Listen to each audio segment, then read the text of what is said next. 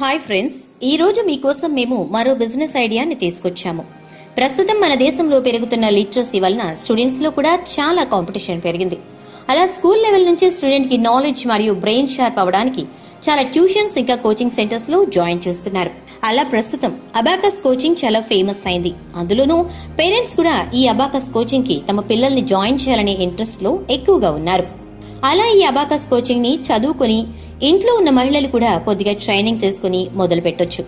ప్రస్తుతం ఈ abacus coaching centre చాలా ఫేమస్ గాను మరియు మంచి ప్రాఫిటబుల్ సర్వీస్ బిజినెస్గా మారింది.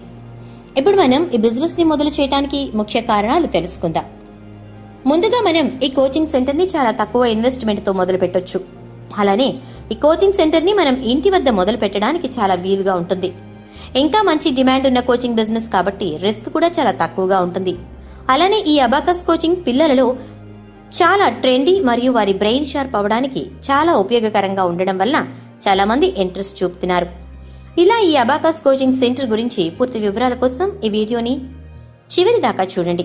ఇన్వెస్ట్మెంట్ ఈ అబాకస్ కోచింగ్ సెంటర్కి కావలసిన ఇన్వెస్ట్మెంట్ వచ్చేసి యాభై వేల నుంచి లక్ష రూపాయల వరకు సరిపోతుంది. ఏరియా రిక్వైర్డ్ మన కోచింగ్ సెంటర్ని ఇంట్లో మొదలు పెట్టడానికి వీలుగా ఉంటుంది. లేదంటే మనం సెపరేట్గా స్టార్ట్ చేయాలి అంటే మన స్టూడెంట్స్ నంబర్స్ని బేస్ చేసుకుని ఒక మూడు వందల నుంచి ఐదు వందల ఎస్ఎఫ్టీతో మొదలు పెట్టొచ్చు ఈ అబాకస్ కోచింగ్ సెంటర్కి కావలసిన మెటీరియల్స్ గురించి తెలుసుకుందాం. మనకు ముఖ్యంగా కావలసిన సబ్జెక్ట్ మెటీరియల్స్ వచ్చేసి student abacus kit with manual clearing abacus student abacus kit with automatic clearing abacus ఇంకా ఈ కోచింగ్ సెంటర్కి కావాల్సిన రెగ్యులర్ మెటీరియల్స్ వచ్చేసి student benches chairs and tables writing boards markers and dusters ఇప్పుడు ఈ అబాకస్ కోచింగ్ సెంటర్ సక్సెస్ అవడానికి మనం follow కావాల్సిన స్టెప్స్ గురించి తెలుసుకుందామా? ముందుగా ఈ కోచింగ్ సెంటర్కి లొకేషన్ చాలా ముఖ్యం. మన కోచింగ్ సెంటర్ లొకేషన్ స్టూడెంట్స్కి ఈజీలీ యాక్సెసిబుల్గా క్లీన్గా మరియు సేఫ్గా ఉండేలా చూసుకోవాలి.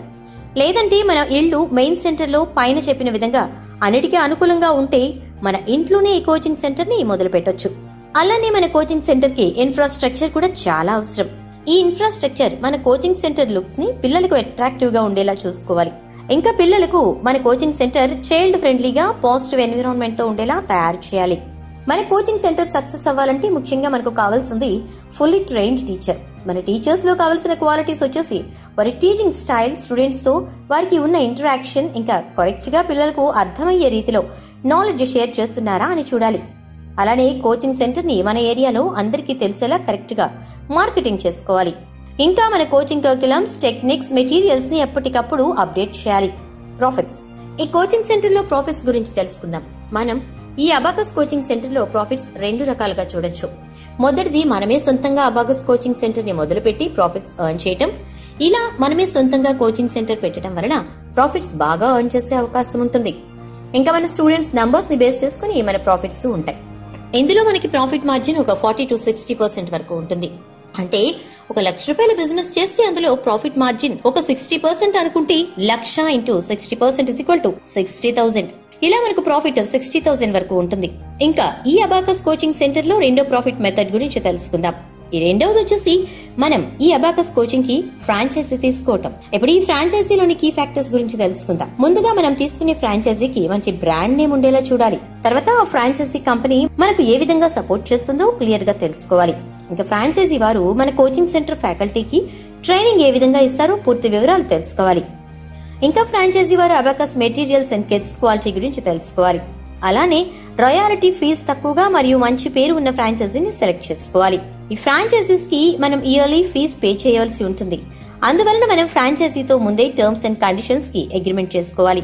చివరిగా మన ఫ్రాంచైజీకి సెపరేట్ వెబ్సైట్ ఉండి అందులో మన student fees structures royalty fees details annual fee details materials information ఇలా అన్ని ఉన్న ఫ్రాంచైజీని సెలెక్ట్ చేసుకోవాలి. ఇంకా ఈ ఫ్రాంచైజీ కాస్ట్ వాటి వాటి బ్రాండ్ నేమ్స్ని బేస్ చేసుకుని డిఫరెంట్గా ఉంటుంది. ఇంకా ఈ ఫ్రాంచైజీలో ప్రాఫిట్స్ వచ్చేసి మనకు ఒక ఫిఫ్టీ పర్సెంట్ వరకు ఉంటుంది. అంటే మనం ఒక లక్ష బిజినెస్ చేస్తే అందులో యాభై వేల వరకు లాభం ఉంటుందన్నమాట. మార్కెటింగ్. ఈ అబాకస్ కోచింగ్ సెంటర్కి మార్కెటింగ్ చాలా అవసరం. అందుకు మనం చేయవలసింది మన కోచింగ్ సెంటర్ గురించి local news papers local TV ఛానల్స్లో అడ్వర్టైజ్మెంట్ చేయాలి. ఇంకా మన అబాకస్ కోచింగ్ సెంటర్కి మౌత్ పబ్లిసిటీ చాలా అవసరం. దాన్నే వర్డ్ ఆఫ్ మౌత్ అంటారు. అలానే మన కోచింగ్ సెంటర్ గురించి సోషల్ మీడియా బాగా మార్కెటింగ్ చేయాలి.